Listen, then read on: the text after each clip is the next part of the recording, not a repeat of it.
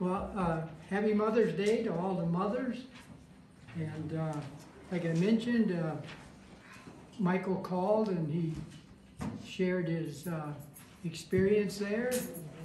He understands what it's like to be a snowbird, he says now, and uh, he's looking forward to coming back here. But meantime, he says he's keeping us in his prayers and he treasures your prayers for him. It's interesting as I, I often talk about uh, sanctification, and we don't necessarily use that word, but what sanctification really amounts to is it comes in two forms, and we're going to talk about that today. One is a completed sanctification, like our righteousness is completed in Christ. He is everything. And so I think it's very important that we understand we're often accused of worshiping Paul. I have no sense whatsoever of worship of Paul. I'm extremely thankful for the ministry that Christ had committed to his trust. And that was to make known the gospel of the grace of God and to reveal the mystery. But because we spend so much time quoting Paul and reciting uh, the words like right division and the mystery and things like that, people that don't understand these things think that we're putting our faith in Paul. And I trust you all know much better than that.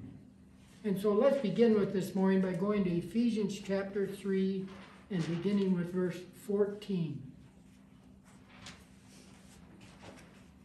Paul says, For this reason, and what he's really saying there is, on, the, on account of this grace, or on account of the revelation of the mystery, chapter 3 of Ephesians is probably the most concise and full explanation of how Paul got this message. And so, for this reason, I kneel before the Father. In the King James Version, it says that I bow my knee, from which his whole family in heaven and earth derives its name. I pray that out of his glorious riches he may strengthen you with power through his spirit in, the, in your inner being, so that Christ may dwell in your hearts through faith. And I pray that you, being rooted and established in love, may have power, together with all the saints, to grasp how wide and long and high and deep is the love of Christ. And to know this love that surpasses knowledge, that you may be filled to the measure of all the fullness of God. Meditate on that verse for a while, that we might be filled with all the fullness of God. Not to him who is now to him who is able to do immeasurably more than we all than all we ask or imagine, according to his power that is in at work within us. To him be glory in the church and in Christ Jesus throughout all generations, forever and ever. Amen. Jennifer drew our attention to that verse about without holiness, no one will see the Lord. There is no access to God by anything that is mundane or normal. Only those, only those things that are holy have access to God. And I thank God we have that access by grace through faith today through the person of Jesus Christ, who is our righteousness, our holiness, our sanctification, Paul calls it, And so holiness and sanctification are synonyms. They basically come from the same Greek word and are used according to the translator's choice of what fits best. And uh, again, that's why there's a lot of discussion about which translation is best. Because uh, different translators chose different words and that type of thing. But I'm convinced that no matter how man translates the original scriptures, which we have no evidence of today, there's only copies of copies of the original scriptures. So no matter how man translates that, it is God that illumines our eyes or our hearts to the truth of what's being said. And so last week we talked about holiness is of God. this week we're going to talk about our relationship in all of that. How can sinful human beings have any faith or concept that they can enter into God's presence? I don't know about you, but I know in my existence I am sinful. Not in my existence, I'm sorry. In my experience, I am sinful. That which is apart from faith is sin. And it has been my experience the more I grow in grace, the more I see how sinful I am. But the wonderful thing about that is I don't have to beat myself up for being such a, a disgrace. Because God has cleansed me with the blood of his Son. God has given me Christ as my righteousness. And that's what we need to focus on. I've shared this in the past, but I believe there are two types of believers today in their sanctification process. There's only one type of believer, and that's the one that's been saved by grace through faith, not of works alone, trusting in Christ who died for their sins. If you have believed that, you've been baptized by the Spirit of God into the body of Christ. And you are saved, sealed, and secured for all eternity. And it's all been by God's grace. But in my experience, those that are saved, there are sort of two groups of believers. One group is doctrinal, which means they go to the scriptures and they search the scriptures, they search the Word of God to see if these things be true. And their faith comes by that. They're in the Bible, they're reading it, they're submitting themselves to the Spirit of God, seeking God's truth. There is another, I believe, group of believers, for whatever reason, that aren't that committed to that type of sanctification. And I call them devotional believers.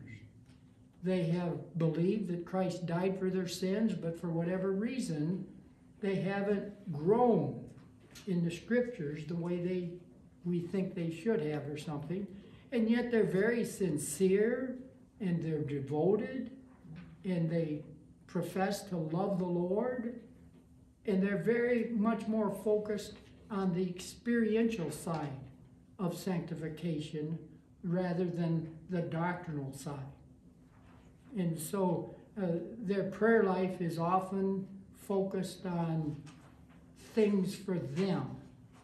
Things, to, and not that there's anything wrong with that because we're instructed to in, pray in all things. Be anxious for nothing, but in all things with prayer and supplication with thanksgiving. Let your request be made known to God.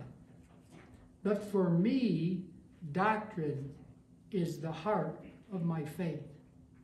That I trust what the Word says and I walk by faith in that as the Spirit of God leads me. And so God is the power in sanctification. And there, like I mentioned, there's two aspects of that. One is your existence, which is in Christ. Christ is your life. The moment you trusted Christ, you died. And Christ became your life before God.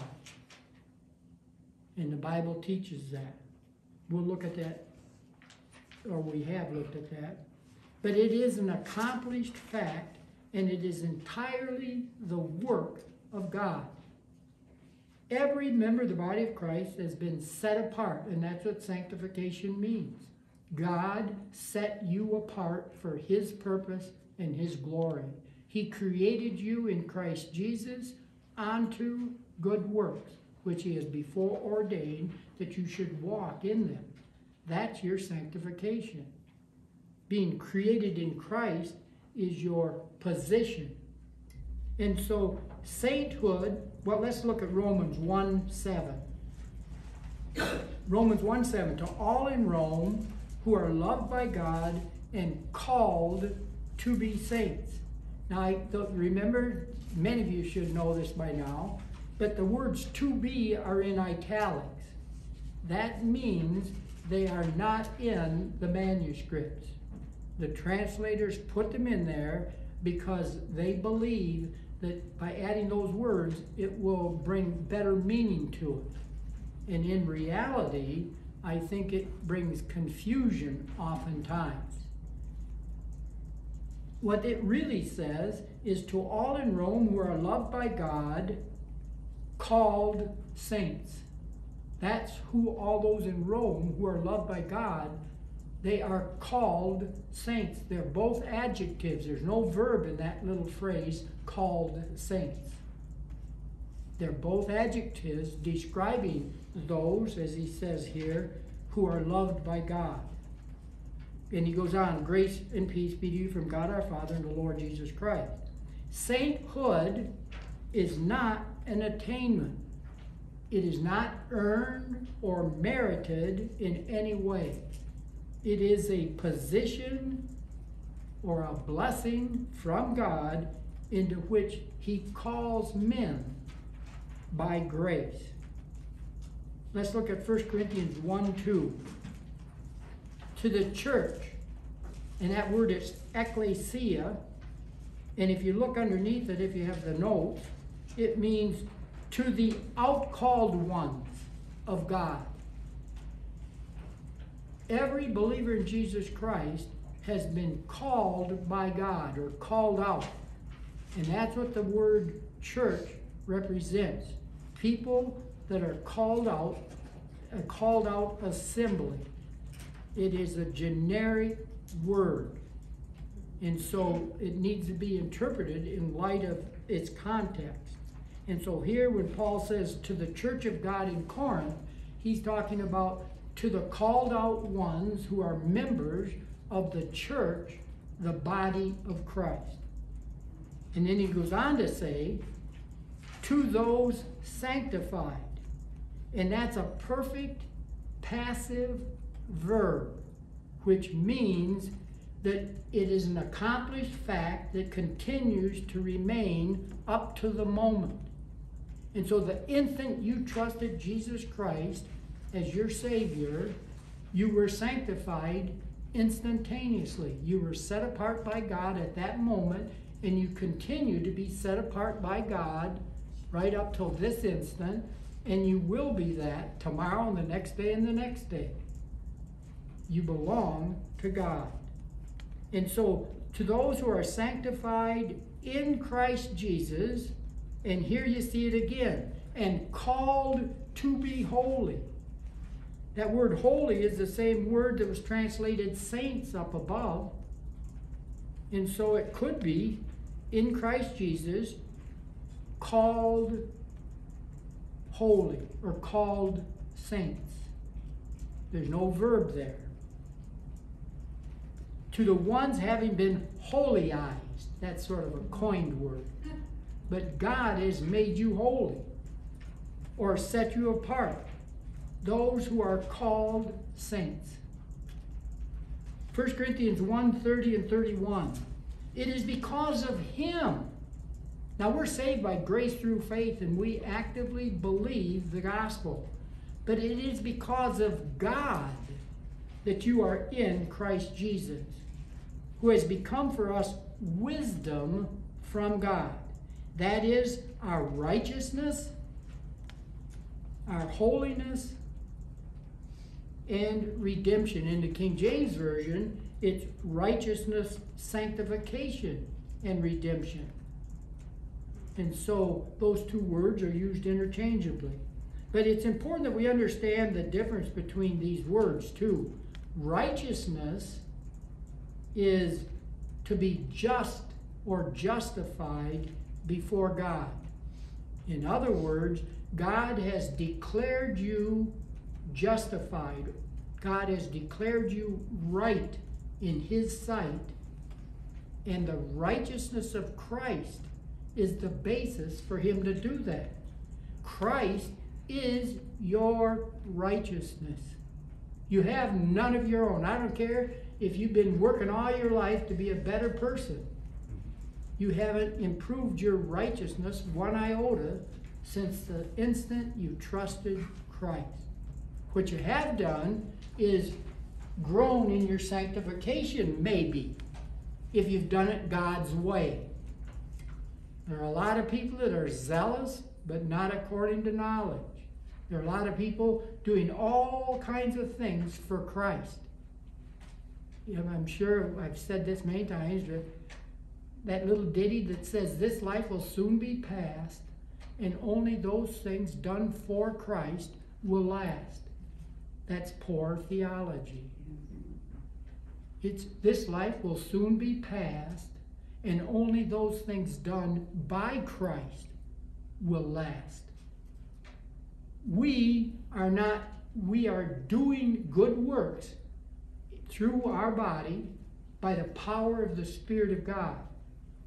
Any good work that a believer does didn't initiate from themselves. It initiated from the work of the Spirit working in you to will and to do of His good pleasure. That's where it begins. And then He empowers you to do that work. And your only response in this whole process is faith. Now, in your experience, you may sweat, you may toil, you may get frustrated, all of those things.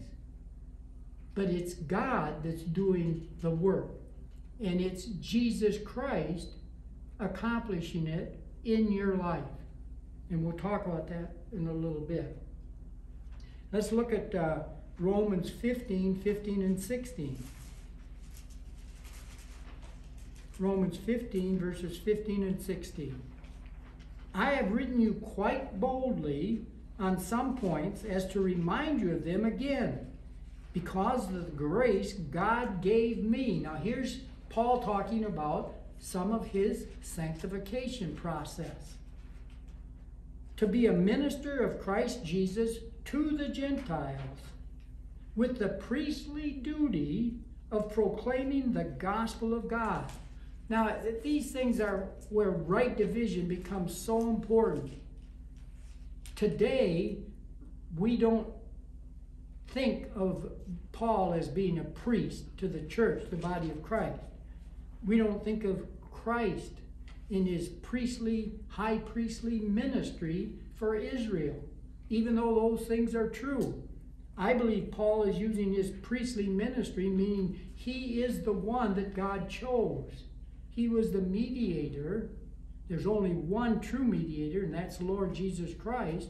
But the Lord Jesus Christ chose Paul to sort of be the go between or the oikonomos, I think it's called, the one who is the revealer of truth to us. It was given to Paul to make known the gospel of the grace of God. So he was the mediator between Christ and the church, the body of Christ. Now, that's not in a spiritual sense, that's in a real historical sense. That Christ chose Paul, entrusted him with the gospel to give it to the world but as he says here, to the Gentiles, so that the Gentiles might become an offering acceptable to God, sanctified by the Holy Spirit. Now, I, there might be a verse, and I can't remember it. You can look it up and maybe if you think of it, show me. But I think the Lord often tells them in the Old Testament to get prepared for tomorrow, to sanctify yourself. Is there a verse in Paul that says sanctify yourselves? Whether there is or not, the process by which you do it is still important. We have no power to set ourselves apart spiritually, but we do have the opportunity and the choice to do so experientially. And that's what we're going to talk about next. But let's look at verse 1 Corinthians 6 11. And that is what some of you were, but you were washed. Now he's talking about all those that have believed the gospel. He's talking about the Corinthians, but it can be applied to every member of the church, the body of Christ. Every member of the church, the body of Christ, spiritually has been washed. That's an aorist middle tense verb, meaning it's a completed action. You have been washed or you were washed, but ye are sanctified, and that one's an aorist passive, meaning you didn't sanctify yourself, somebody else sanctified you. You were justified, that's also an aorist passive verb. Being justified deals with the righteousness that you have before God. In the name of our Lord Jesus Christ and by the Spirit of our God. So all of that's done by the Spirit of God. And then Second Thessalonians 2 13 and 14.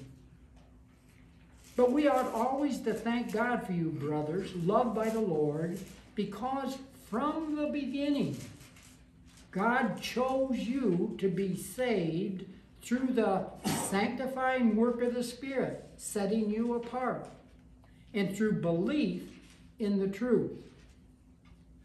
Believing the gospel, having faith. He called you to this through our gospel. And again, we can have confidence as you grow in your knowledge of the mystery, as you grow in your knowledge of the gospel of the grace of God, we can be confident that He called you to this through, Paul calls it our gospel or His gospel, but that gospel is through the gospel of the grace of God. The Gentiles had no claim on the kingdom gospel whatsoever. And he goes on, you he called you to this through our gospel that you might share in the glory of our Lord Jesus Christ. We are going to share in his glory. Remember, we're heirs of God and joint heirs with Christ. When, we, when he comes in his glory, we're going to appear with him in glory. And so that's our existence positionally. God has taken care of all of that. And then we come to our experience sanctification experientially. Our existence in sanctification comes through being baptized into Christ. Our experience living is Christ living in you. And that's the difference. One is being in Christ to be saved, the other one is Christ in you to live. So that any of these things that are manifested in our lives by the Spirit of God that are truly spiritual work, that are truly part of our sanctification. It is Christ living in us. Galatians 2:20, Paul says, "I have been crucified with Christ." In other words, he died with Christ, and I no longer live. Well, Paul's writing this letter. What does he mean he no longer lives? Before God, all that he was in Adam has been done away with. The old man has been crucified with Christ. And then we've been raised up to walk in newness of life. And that is, but Christ lives in me. And that's a present active verb that Jesus Christ at this very instant in the life of every believer is manifesting Himself through you. 2 Corinthians 4:10, Paul says, "We always carry around our body the death of Jesus, so that the life of Christ may be revealed." And that's an aorist passive verb as far as we are concerned, meaning we're not revealing Christ. Christ is revealing himself through us. And he goes on to say, in our body. So he's talking about in our actions, in our life, right now, physically. For we who are alive and are always being given over to death for Jesus' sake, so that his life may be revealed in our mortal body. The more that you grow in grace, the more that you understand the marvelous gospel of the grace of God and the revelation of the mystery, the more that Christ will become everything to you.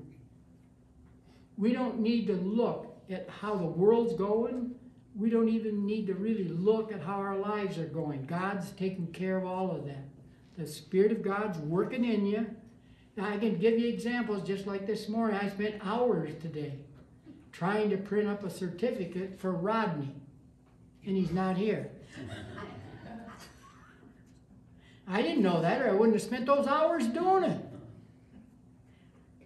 But I know that God doesn't make any mistakes. I know I belong to Him. I know He's working in my life. And so, even though there's a little bit of frustration and a great doubt in myself, God didn't fail at all. It's just that I was ignorant. I didn't know Rodney wasn't going to, he could save me some problems. He said, I'm not going to be there tomorrow. Not that I'm suggesting he should have or anything like that. But I didn't know, and that's what I tell you all the time. When you leave here, you don't know what's going to happen when you go out that door. There might be a guy out there with an AK-47 and blast us all away. Or we might go through that door and something happen. Who knows? We don't know. So how can we really plan or set goals with any sense of security? The only way to live this life is by faith in God and God alone. Now you can plan, but don't let those plans get you all bent out of shape. A friend of mine keeps saying, God, man plans and God laughs. And of course, the, the scriptures teach that too a little bit. You're going to build barns and make all this money and everything else. Oh, you fool, your life's required of you tonight. So, I've often thought, you know, people probably ask you, if you knew you had uh, one more day to live, what would you do? Well, uh, theology wise, I'd say, well, I'd spend the whole day trying to tell everybody about Christ. I'd want everybody to know about that. That would be the most important thing in my life. Well, that might be me. Somebody else might say, I'd go to my family and spend time, or I'd go to some friend and try to repair our friendship, or I'd do this, or I'd do that, whatever it might be important to you. Well, I'm growing in the idea that the only thing that matters to me now is faith trusting God moment by moment. Lord, I belong to you. You bought me with a price, the blood of your Son. I give my life to you. I present my body a living sacrifice and walk by faith. Because God knows how He's going to use it. He's already ordained the works for my life. I don't. I can't believe, uh, you know, if it was up to my flesh, I wouldn't be standing here today.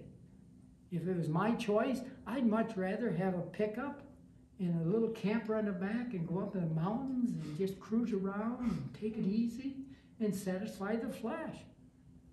And the Lord and I have a lot of conversations about that. So don't take, if you got Rodney's little inquiry, little blip on, uh, there's a, anyway, I get a message from Rodney that several people here are included and uh, he said, Pray for pastor. He was burdened to pray for the pastor. I covet your prayer because my flesh doesn't enjoy this. But I know it's the most important thing in my life is my faith and my walk with God. But my flesh is contrary to that. It's got other things it would like to do. Mm-hmm. And if you say, oh, not me, then you're deceived because all of us have fleshly desires. And oh, that's just normal. It sure is. That's the natural man. And the only way you're ever really going to have success and escape it is by trust, faith in God, and then by God giving you the conviction and the faith to trust Him. Because I do it a lot. I say, Lord, I don't want to go home and turn the television on. I want to go home and read your word. I go home and turn the television on.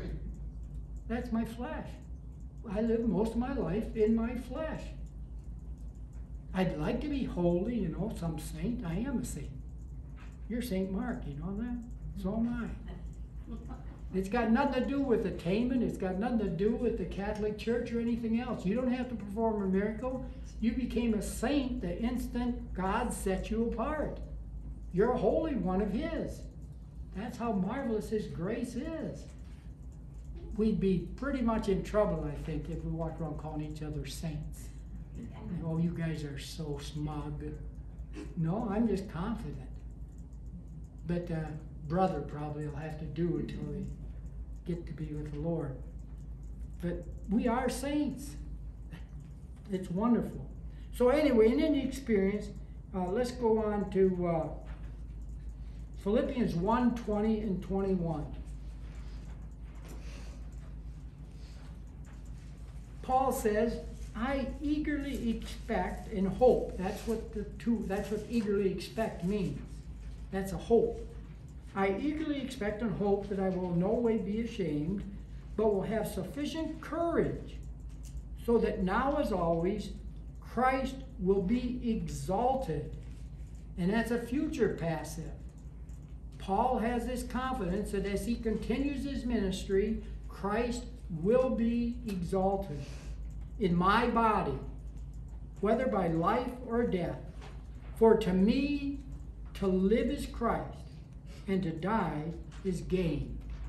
Is that your prayer? Is that your heart's desire? That, Lord, I don't care whether I live or die, but while I'm here, I pray for me to live is Christ. And pray that for me. Not that I'll be any better than anybody else or anything like that, because it has nothing to do with that. It has to do with my sanctification. That Christ will be open, and we're going to touch another verse here. I guess we'll just go on and we'll get to it. This sanctification experientially is a continual process and is a cooperative work. The first one, spiritual sanctification, is strictly a work of God. But this one is a cooperative work. It is the work of the Spirit of God, and then it's also our cooperation with it by faith. And so Ephesians 3 7 and 8. I became a servant of this gospel by the gift of God's grace. That's how Paul got his gospel and became a servant. The life you have right now in this world is a gift of God's grace. And He's ordained that life for His glory and His purpose, and He has works for you to do. And it is the it is the exhortation of Scripture that you fulfill what you were created for in Christ. And so he says, I, be, uh, I became a servant of this gospel as the gift of God's grace given to me through the working of his power. Although I am less than the least of all God's people, this grace was given me to preach to the Gentiles the unsearchable riches of Christ. And remember that word unsearchable doesn't talk about the depth of this grace or the magnitude of this grace that is beyond counting or anything like that. The unsearchable riches are the untraceable riches. You can't find what Paul's talking about in the Old Testament. You can't find what Paul's talking about here in the Gospels or the early part of the book of Acts. Paul is declaring something that was hidden until Christ revealed it to him and he made it known. And so, what was Paul's desire? Philippians 3 10 and 11. I want to know Christ. Now, he's saved, so in that sense, he knows Christ. He wants to have this intimate relationship with his Savior. I want to know Christ and the power of his resurrection and the fellowship of his sharing in his sufferings, becoming like him in his death. You can bet that that wasn't Paul's flesh talking. You don't find many people praying for suffering.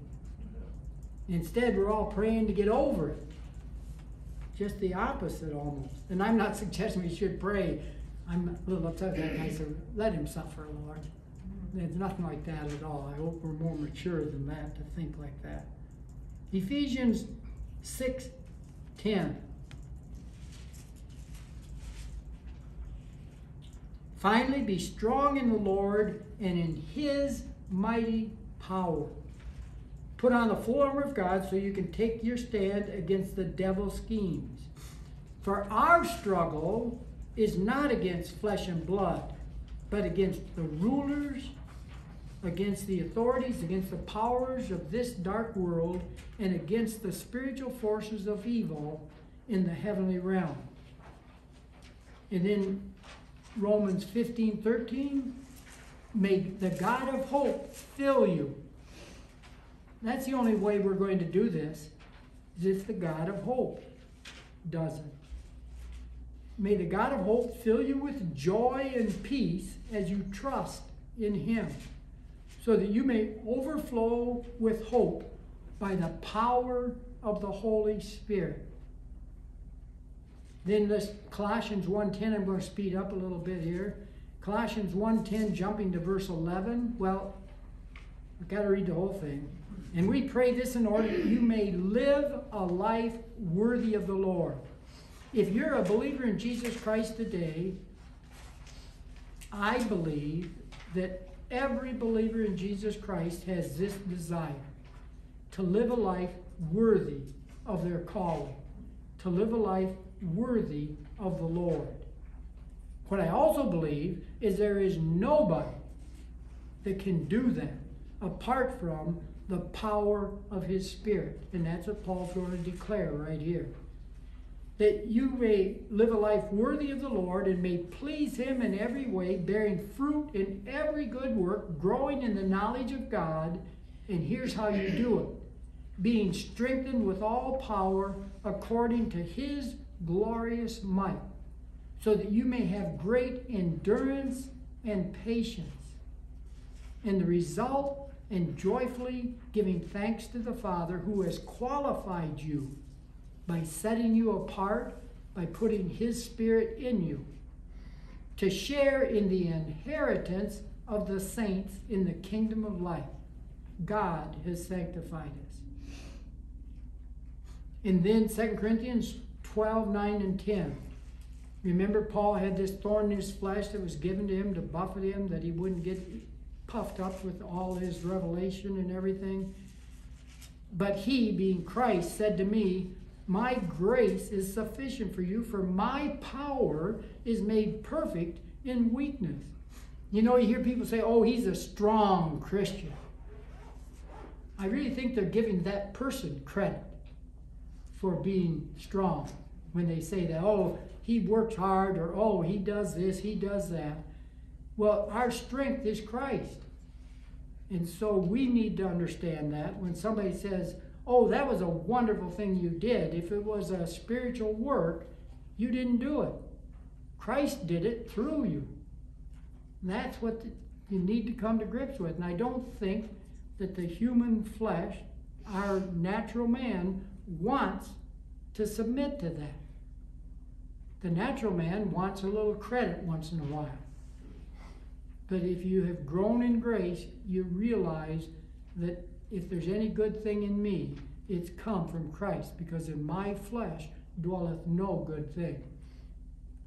And then Paul goes on to say, there, 2 Corinthians 2, Therefore, I will boast all the more gladly about my weaknesses, so that Christ's power may rest on me.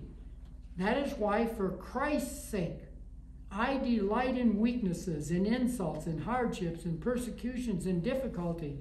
For when I am weak, then I am strong. And I can really identify with that last verse. And so the strength comes from God. And then the second part of that, and the faith of the believer. That's our cooperation in that. Ephesians 3 16 and 17. I pray out of his glorious riches, he may strengthen you with power through his Spirit in your inner being, so that Christ may dwell in your hearts through faith. That's not talking about getting saved. If you're saved today, do you have to pray, Christ, will you live in me? He's already doing it. So, what's Paul saying here? That word dwell means to set up your home, to be at home in you. That Christ is living freely in your life, that you're not inhibiting it or in any way trying by a lack of faith to allow Christ complete sovereignty in your entire existence and in your experience also. And he does that through faith. Ephesians 1 18 through 20. This is all about sanctification.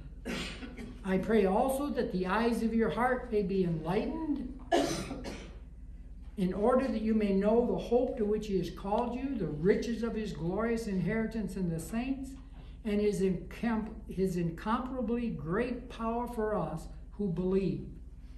That power is like the working of his mighty strength, which he exerted in Christ when he raised him from the dead and seated him at his right hand in the heavenly realms.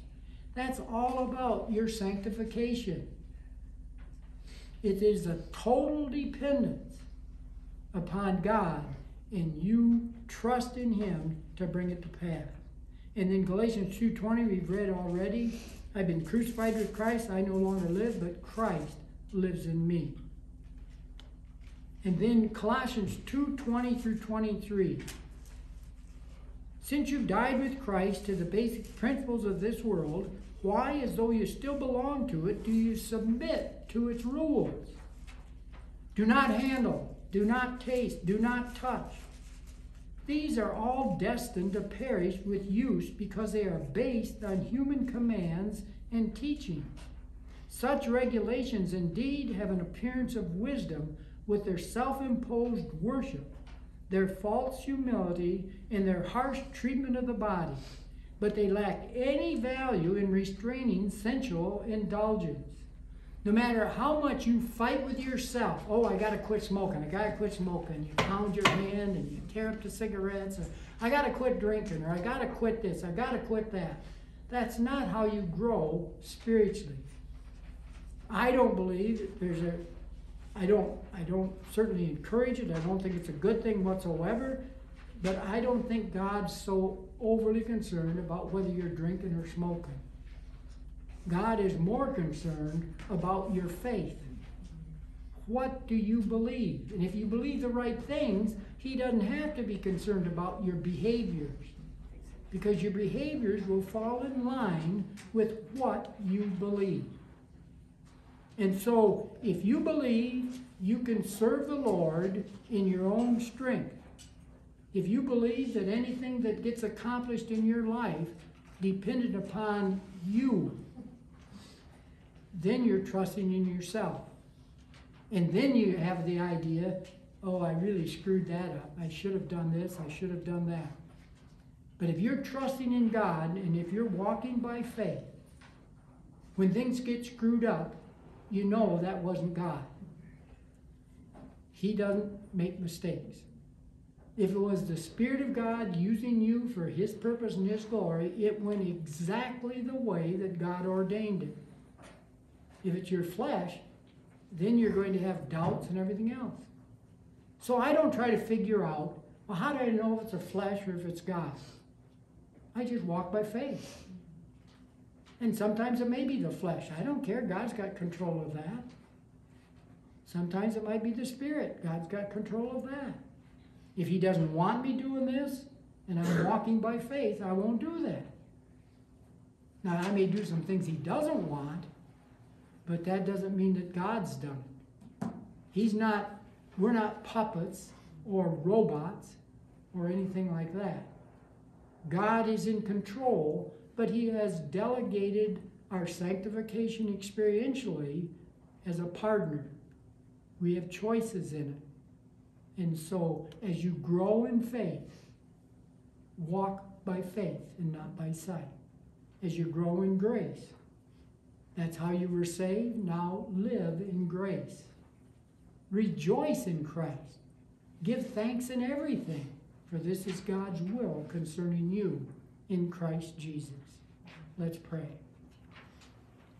Our dear Heavenly Father, you are an amazing God that we know have just a glimpse of all that you are. And so we thank you for the revelation you've given each one of us. We thank you for the revelation of your word. And Lord, we trust in you to teach us from it. Your spirit is living in us. Your spirit teaches us, guides us, and seals us. We just are overwhelmed with your grace. And so, Lord, I pray that it's everybody's intention and heart's desire to serve you in holiness, in sanctification. And we trust in you to bring that to pass. For it's in Christ's name we pray. Amen.